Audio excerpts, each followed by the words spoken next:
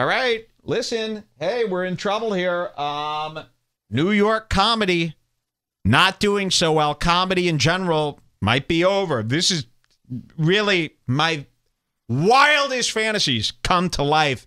You know, back in the 90s, you used to have to call a 1 900 number on USA's Up All Night with Rhonda Shear to get this kind of satisfaction. I ain't got to do nothing now. I wake up and my hottest dreams become, well, what's the opposite of fiction? I couldn't be more happy that stand up comedy is dying. And wow, the winter. What will the winter hold for these rooftop performers, huh? These chimney sweepers, I call them. Mary Poppins style, coming out with a burnt face and a screwed up umbrella. So, uh, yeah, we've seen Sam Morril on the top of the roof. Hey, it's me, Sam Morril. I'm on the top. We've seen, um, uh, what's his? Whoa, hey, it's me. Yeah, I'm out uh, doing car comedy. Yeah, I'm on the top of a Pacifica, talking to a crowd of uh, Kia Optima drivers. Yeah, please gag me.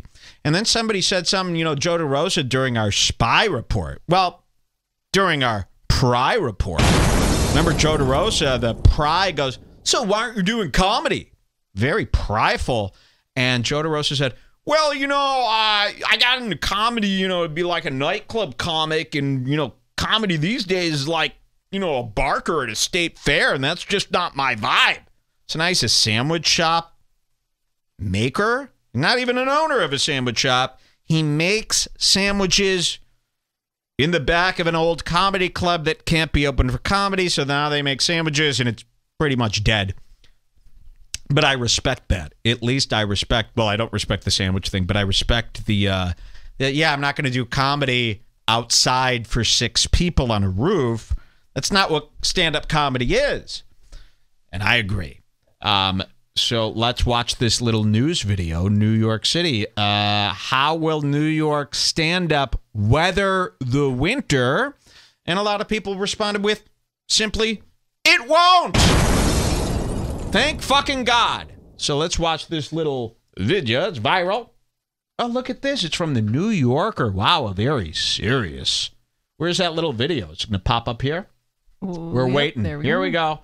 And it's got this great uh, commentary. How am I doing on time? Uh oh. Sorry, I got What's going on here? I got another. Set I gotta sign in? Cart Oh, you just gotta turn off your ad blocker. Okay, hold on.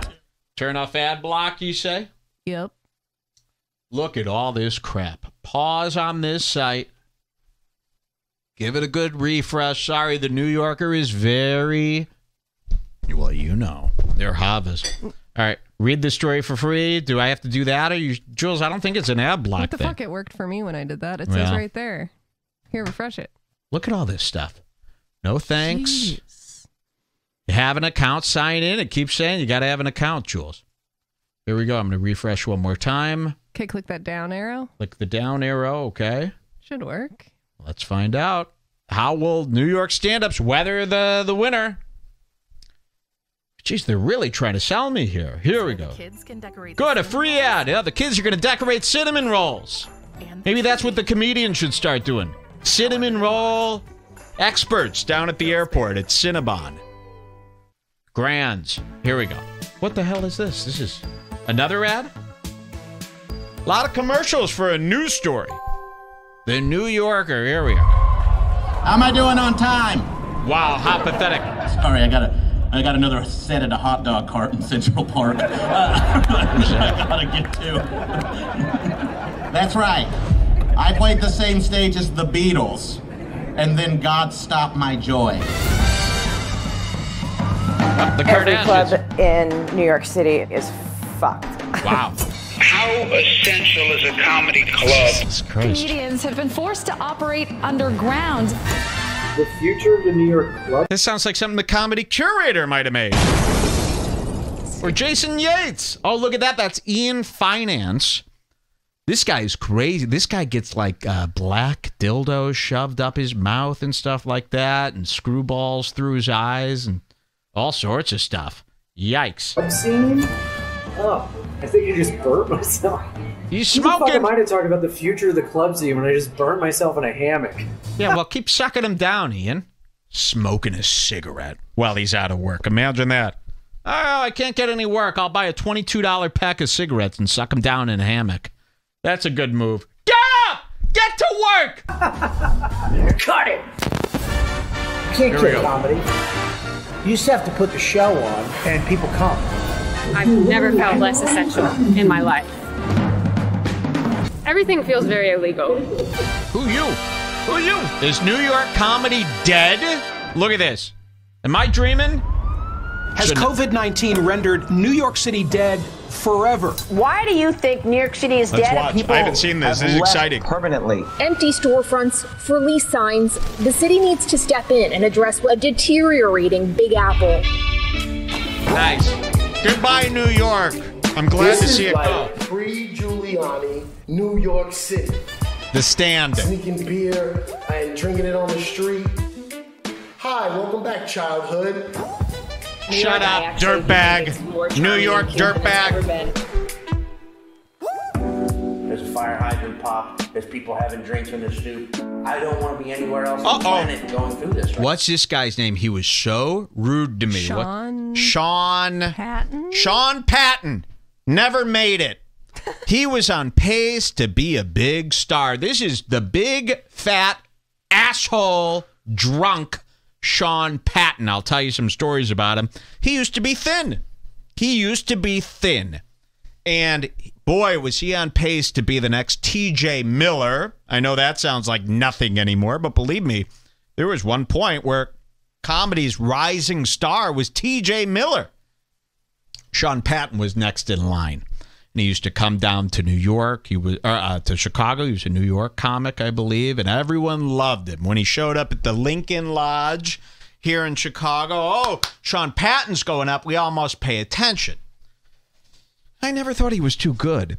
And I remember a few years back, I, I went to the Lincoln Lodge again. This was a historic comedy joint. It's no longer doing comedy, it's uh, back to its old days of just being a pancake house. And Sean came on and he looked like this, as big as a house. And he had, no joke, a belly like Amy Schumer nine months pregnant. It was ridiculous, and his face was red with drunk rosacea. And he was on stage and he looked like crap. Okay, he had this huge pot belly. And he wasn't this fat. He was kind of like still his regular size, but his belly was like Doug Stanhope had the same thing where they're such alcoholics that they're they drink beer after beer. Oh, they're up all night drinking beer. That nothing makes me sicker than a guy in his 30s up all night at a bar drinking cheap beer. All night, every night of the week, beer after beer after beer. When I see a guy who drinks 15 beers, I get mad. You don't need that much beer.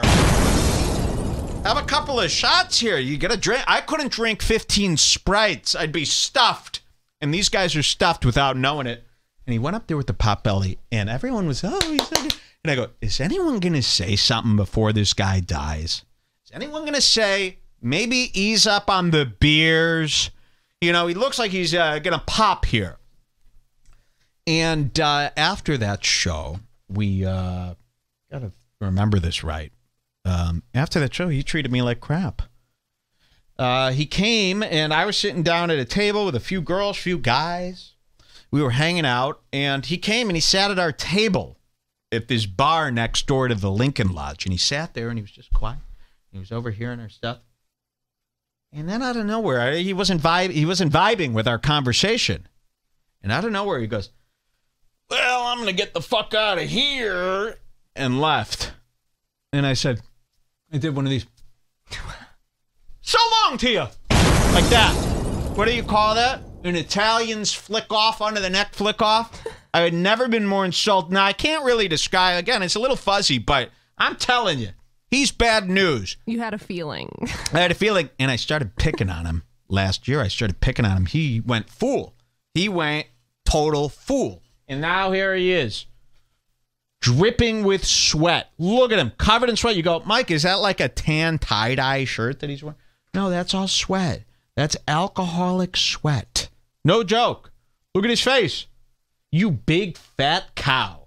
You're on pace to be dead now. Okay, like Pat Bryce. R.I.P. Sorry. Comedy's one of the only live performance art forms doing anything in all of New York. It's something to look forward to. You're not like a lot of the women I meet here in New York who are like, why do you breathe like that? We're turning out West New York Coast, comedy is over. Let's see what happens. Raw and real. Yeah, you're gonna get mugged. It's gonna suck. Ari but in Shaffir! those moments, it's gonna make New York fucking a story town again. Wait, wait, wait. You're back in action? I thought you ran off and you lived uh, with your parents.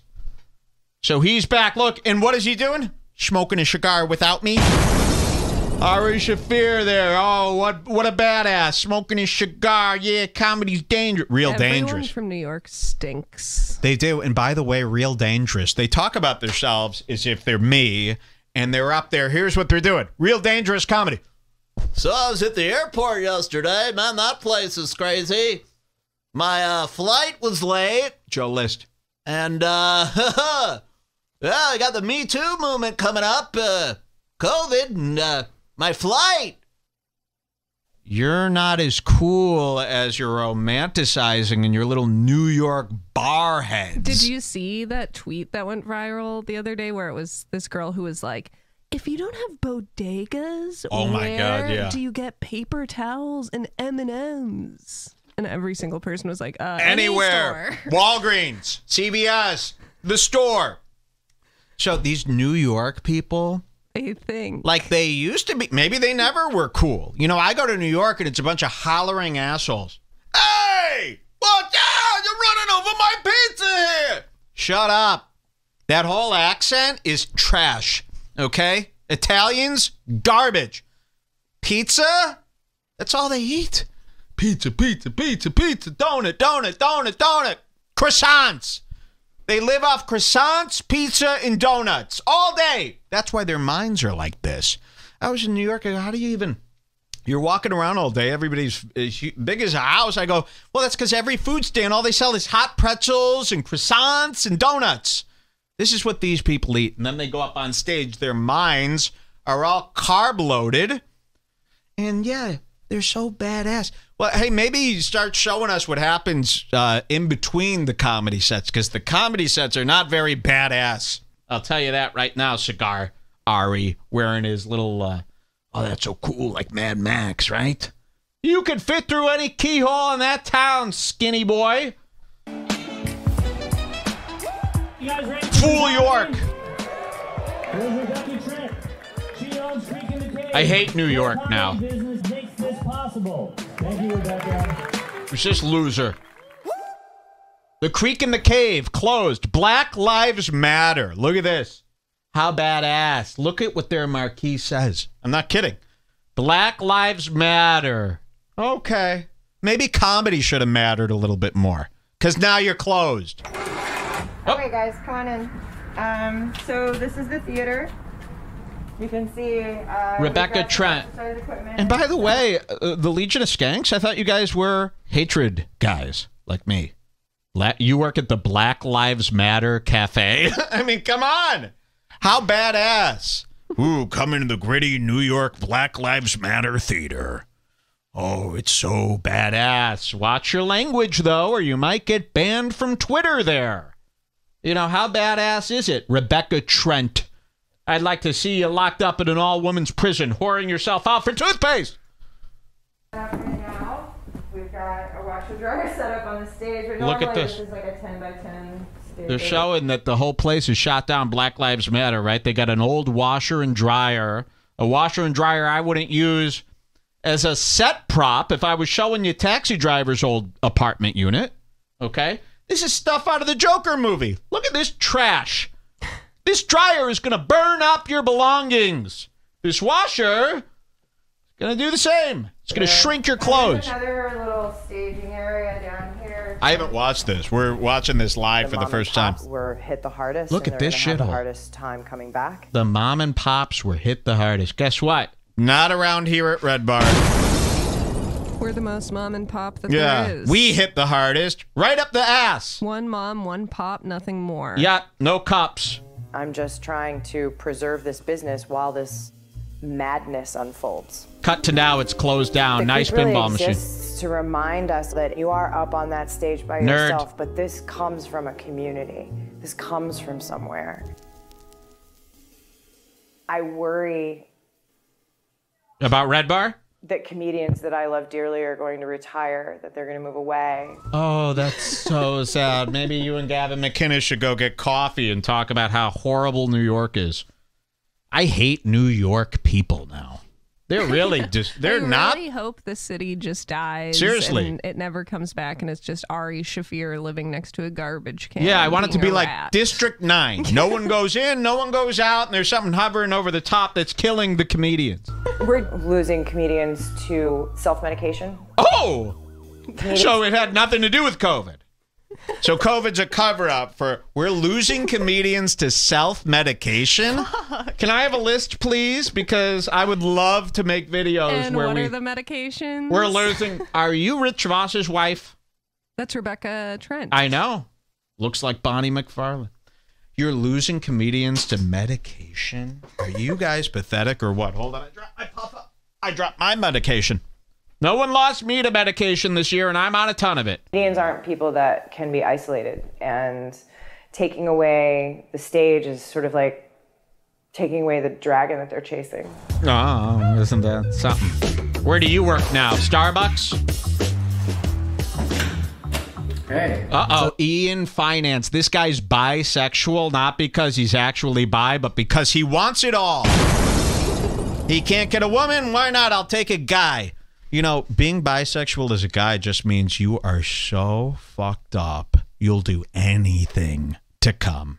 You're that lousy. You're like a character from the show Girls, where they would mock how disgusting a person could be. They had more self-respect. Yeah, they did have more self-respect in the show Girls, you know, than this whole Legion of Skanks crew. Look at his kitchen, by the way. Imagine you open the door and you're met with an old kitchen. Look at this. He lives in squalor.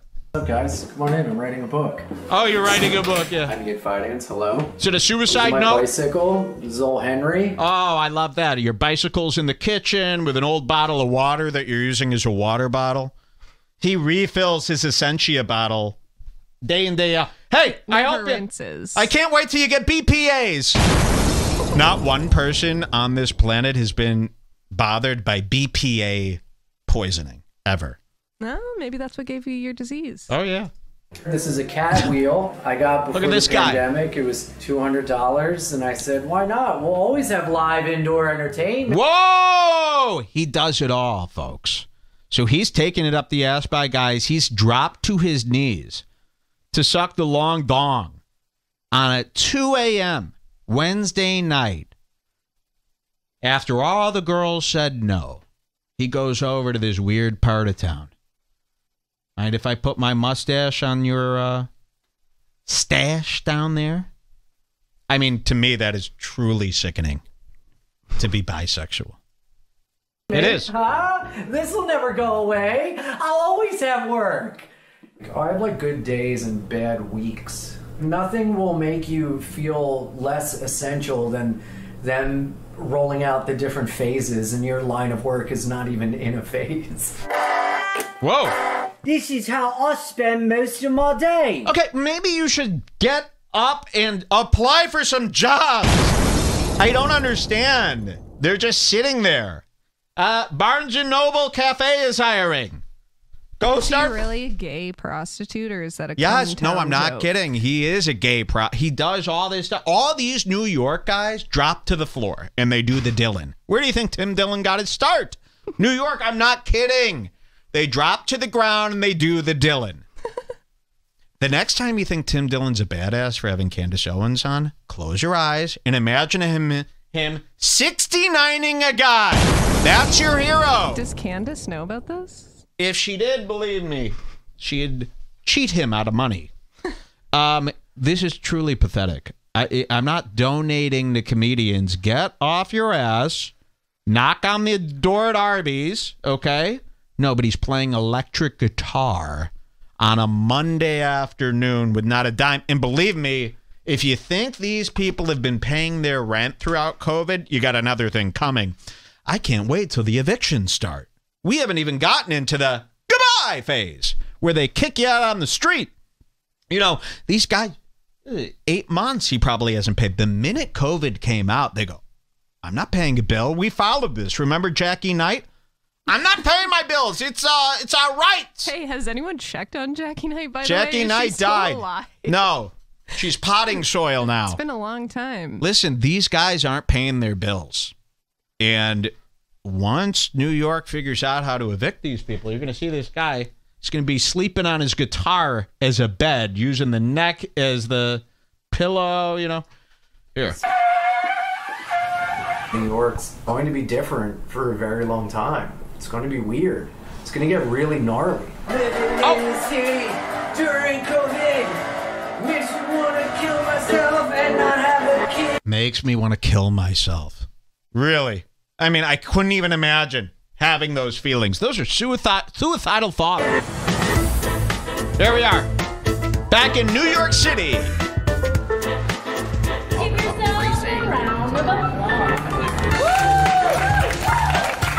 So this is the comedy club where Joe DeRosa makes sandwiches now. So this was shot even before. So you got the Creek and the Cave, that's closed down. They turned that into a place where you could get a temporary tattoo and some bad coffee. And then uh, here's the stand, which is now a submarine shop run by Joe DeRosa. I, and this is incredible. This isn't just a comedy club. It's a real restaurant. Oh yeah, The a real restaurant. Mama, look alive. Only comics are impressed by a real restaurant, not like those fake restaurants. This is everywhere. like a real restaurant. It's like a real restaurant. They have like a microwave and a stove. More equipment than I have in my apartment. Buddy. How embarrassing. Look at that guy. We're a family business. My personal experience, I was. Cris Italia. Guys, I'm not kidding. Cris Italia. I need more Co- information about what did this I? man I'm now. like, just a minute ago, I'm like, I hate New York and the fucking Italians everywhere and all this shit. And here's the owner of the stand, Cris Italia, co-owner. I'd like to prank call this guy into oblivion. The Stand Comedy and Club and Restaurant, Cris Italia. That would be like if my name was Mike Hava. Weekdays on Nick. Was a first responder on 9/11, and I'm not Fill just going to give up. I didn't give up then, and I'm not going to give up now. That's not what New Yorkers do. We don't give up. oh yeah, you're gonna be opening a Fat Sal's chain and working for Turtle in a few months. Look at this. This is the guy. Do you know Louis J. Gomez? Oh yeah. Look at this fat fuck going over the books here. He's got paper books. He has no idea you could do this digitally now. Look at this, a clipboard and some papers. He's going. Am I going to be able to afford the bills? I better call Joe DeRosa and start making some marsala meatball subs. Can I reinvest in the city and help it thrive again? Uh When did mush become What the hell is this? Uh, an ad. Mushomatic. Okay. Well, whatever. That's enough of that. Uh, very They make fucking you watch cool. an ad in the middle of the news video. Come on. In on. the middle of the news on my stream. Do the comedians get any of that money, or They don't give a shit. These comedians have no money. And I want to show you, it's getting even worse. Even big time comedians are suffering still. You know, let's catch up with them. Let's catch up with Nikki Glazer, who also made the news recently. You know, this is Amy Schumer's best friend. She had a, a morning talk show on Sirius XM that was doing very well. Big time comic, making a lot of money. Let's see where Nikki Glazer is now. Let's see if this is queued up. 2745, yeah. And uh, we're going to cut to the news. This is a PBS News Hour live report. And there's Jules hosting the show there. Accelerated a change in housing in this country that began well before Listen to this. COVID 19 spread. Millennials, adults between the ages of 24 and 39, continue to move back home with their parents in significant numbers. Wow. For some, it's by choice. So listen to this. Uh, people, because of COVID, they're moving back home with their parents. Sounds unbelievable, right? But we saw Kim Congdon do this. She moved in with her two stepdads that are both not even related to her. Two husbands of her mom that went awry, that went south.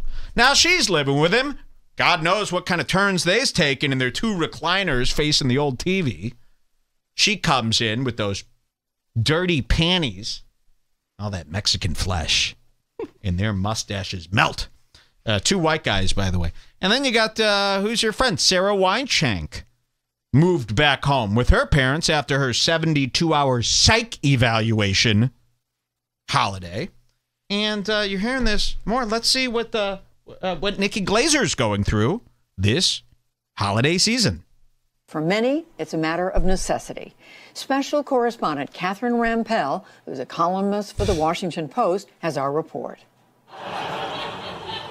I was an ugly child. People would tell my mom that my sister should be a model, like right in front of me. And then I'd emerge from behind my mom's Nikki. legs like Nosferatu, like, what should I be? At the start of 2020, comedian Nikki Glazer was riding high. Wow. A racy Netflix special, national tour, Riding high. TV shows in development. Then, you know what happened. Everything started shutting down, and I was like, I'll just go back to St. Louis for a week or so, you know? Seven months later, I'm a 36 year old woman who is living with her parents. And What the fucking fuck? Seven months later, I'm a 36 year old comedian living with her parents. Shut it down. What, what could possibly be the reason for this? She's got money, right? You would hope. I mean, even Mersch figured out how to live in his own little apartment for 400 euros a month. Uh, what's going on here? This isn't cute. It's not funny, and your parents shouldn't allow it. Seven months. Time to get a job. You could go outside. It's not Chernobyl. Even in Chernobyl, people were still living amongst the radiation in those little shacks. It's Christmas at ground zero, and if the radiation level's okay, I'll go out with you and find a new mutation on New Year's Day. Remember? You don't. Weird Al. She's living with her parents. Seven months. The news reporter is like, Are you kidding me? or TV shows in development. Look at this. Then, you know what happened. everything started shutting down, and I was like, I'll just go back to St. Louis for a week or so, you know? Seven months later, I'm a 36 year old woman who is living with her parents, Let's the and rest. there's no end in sight. No Little end in did sight, Nikki huh? Glazer know You need some money, March you fucking that whore? she'd be a poster child for her generation's response to the pandemic. Young adults moving back home with their parents. Jared this is said the that, huh? highest it's ever been, stretching back to 1900 and the historical record. Economist Richard Fry just co. I was going to say, even Jordan Peterson is moving back in with his kids. Well, it's not really much because of COVID. Stupid idiot Jordan Peterson. I mean, this is terrible. Even Brian Redban is moving back in with Joe Rogan. We're going to show you that. Joe Rogan bought Redban a house.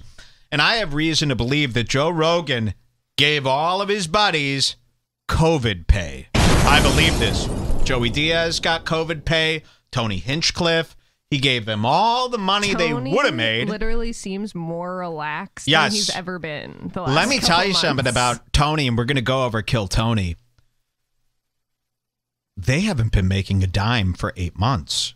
Uh, I, I, I want to show you what happened here. Kill Tony uh, was a, a big popular show at the comedy store, and they were filling 300 seats every week at the comedy store and selling those tickets for God knows how much money, and that ticket money was going to them. They also had 100,000 views. They were selling ads. They've got less views than Red. Well, we got way more views than them. My coverage of Tony gets triple the views of his episodes.